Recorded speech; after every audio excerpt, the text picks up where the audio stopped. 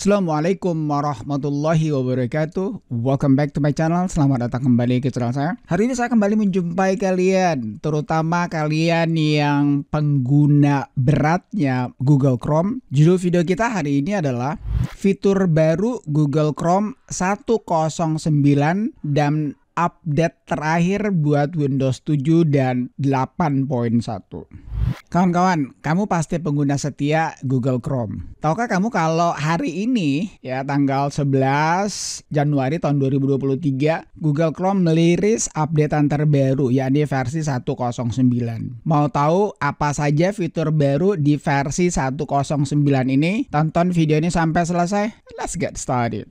Kawan-kawan, kalau kamu baru menyaksikan video saya, baru melihat channel saya, bantu saya dengan cara subscribe. Dan kalau kamu sudah subscribe, jangan lupa kamu tekan akun belnya agar kamu tidak ketinggalan dengan notifikasi ketika saya mengeluarkan video yang terbaru.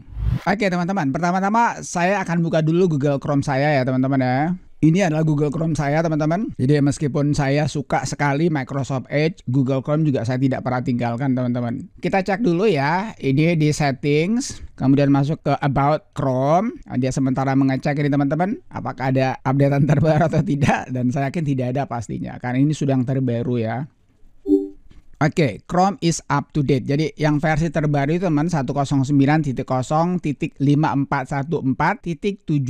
Ini sudah yang terbaru sekali teman-teman. Hari ini baru diliris. Jadi kalau kamu belum update teman-teman, saya sangat menyarankan untuk update. Kenapa? Karena pertama teman-teman ya, saya harus beritahukan dengan sangat menyesal sekali kepada pengguna Windows 7 dan Windows 8.1 bahwa ini adalah updatean terakhir kalian untuk pengguna Windows 7 dan Windows 8.1 kalau kamu menggunakan yang namanya Google Chrome. Jadi di 109 ini ini adalah updatean kamu yang terakhir. Nah, pada tanggal 7 teman-teman ya, 7 Februari tahun 2023 itu akan meliris lagi Google Chrome versi yang terbaru ini 110.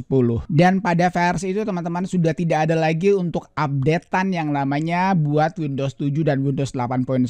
Apakah saya masih bisa menggunakannya? Tentu saja kamu tetap masih bisa menggunakan ya Google Chrome tapi ingat saya sudah bilang tadi kamu sudah tidak mendapatkan lagi update. This is your last update for Google Chrome. Ini adalah update terakhir kamu untuk Google Chrome. Nah, itu yang pertama teman-teman. Yang kedua, pada updatean ini ada 17 fixes untuk security. Jadi ada 17 security yang dia perbaiki teman-teman. Saya kasih lihat ya. Oke, kami bisa lihat sini teman-teman. Ini kamu lihat sini, ini security dan privacy ini jumlahnya ada 17. Chrome 109. Ini rilis summary-nya. Ini ringkasannya ya kamu lihat sini. Ini ada 17 jumlahnya teman-teman. Kalau kamu pengguna Windows 7 dan Windows 8.1, ini adalah security update yang terakhir yang kamu terima. Kamu tidak akan mendapatkan lagi security update. Jadi pada saat perilisan versi 1010 itu kamu sudah nggak dapatkan lagi update apakah itu security maupun yang fitur baru. Jadi Google Chrome itu menyarankan kamu untuk update kamu punya Windows. Kalau tidak ke Windows 11 ya paling tidak haruslah ke Windows 10 untuk mendapatkan tentu saja fitur baru dan juga fitur yang namanya keamanan. Karena apa pun juga teman-teman, ya browser apa pun juga ini security number one ya. Security itu nomor satu, keamanan itu nomor satu teman-teman. Jangan sampai kamu dirasuki, dimasuki oleh hacker kah, malware kah, virus kah, ransomware kah, dan tentu saja kamu harus hati-hati. Ya itu yang kedua. Nah yang ketiga teman-teman, fitur barunya itu adalah ini khusus pengguna Android ya. Jadi Android juga sudah masuk 109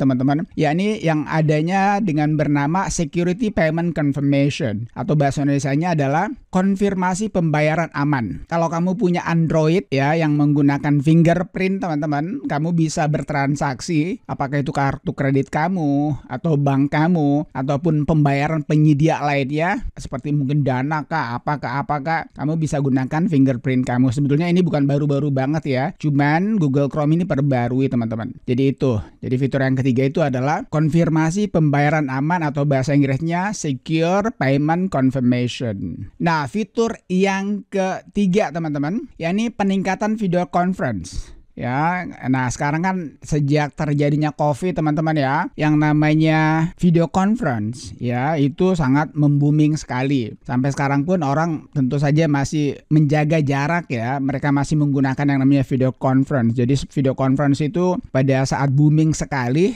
itu yang paling laku Zoom. Kemudian Google Chrome mengeluarkan Google Team. Apa Google apakah namanya saya nggak saya apa saya kebetulan saya tidak terlalu menggunakan ya Google Team kah apa tunggu sebentar saya cek dulu apa namanya teman-teman. Oh ya, dia menggunakan Google Meet ya. Jadi Google uh, untuk menyaingi kepopuleran namanya Zoom meeting, Google Chrome mengeluarkan Google Meet. Nah, untuk Google Meet ini teman-teman, kamu akan mendapatkan peningkatan video conference-nya. Tapi sayang ya, ini masih baru dalam tahap apa percobaan. Nah, kecuali kalau kamu menggunakan Chrome OS ya. Ingat Chrome OS juga ada ya di samping daripada Windows OS, Chrome OS juga tentu saja ada Mac. Nah, kemudian yang keempat teman-teman, ini juga untuk khususnya pengguna Chrome OS ya ini screen sharing yang lebih baik. Jadi kalau kamu menggunakan Google Meet teman-teman, maka sharingnya, screen sharing kamu itu akan lebih baik. Kalau untuk Zoom sih nggak ada masalah ya karena Zoom itu sudah memiliki fitur tersendiri. Jadi pada versi 109 ini Google Meet dia perbaiki untuk yang namanya melakukan uh, screen sharing kepada peserta yang melakukan conference menggunakan yang namanya Google Meet ini. Dan Nah, untuk pengguna seperti saya teman-teman ya, saya lebih banyak bukan lebih banyak, saya menggunakan Zoom. Saya tidak tahu, saya lebih serak kayaknya menggunakan Zoom ketimbang Google Meet. Nah, kebetulan kami salah sini ya, ini ada updatean terbaru ini, installing update do not close the window. Jadi saya lebih serak menggunakan Zoom meskipun sebetulnya Google Meet juga bagus, cuman saya nggak tahu ya eh, Zoom itu buat saya lebih enak deh pakainya ketimbang apa uh, Google Meet. Belum lagi sebetulnya masih ada juga kalau Microsoft itu kan dia memiliki ya Microsoft Team. Tapi di antara antara tiga ini untuk yang video conference saya lebih serak lebih enak menggunakan Zoom. Mungkin suatu waktu saya akan mencoba lah kalau seandainya fitur apa peningkatan video conference juga fitur yang terbaru screen sharing di Google Meet itu sudah lebih baik. Nah, sebelum saya tutup teman-teman, saya hanya ingin mengingatkan kembali ya.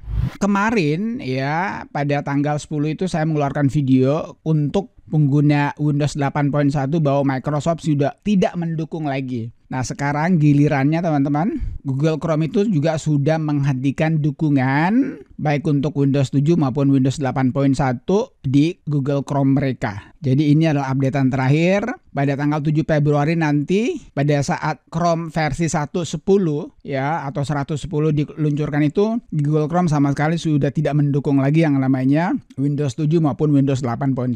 Jadi sekali lagi teman-teman ya kamu harus hati-hati karena browser itu yang paling utama sekali kalau kamu browser lah yang paling utama sekali teman-teman dalam segi soal keamanan ya. Karena gimana pun juga kan kamu tidak bisa berselancar di internet kalau kamu tidak menggunakan browser. Dan saya tahu banget bahwa 71% pengguna Chrome di Indonesia itu adalah Google Chrome.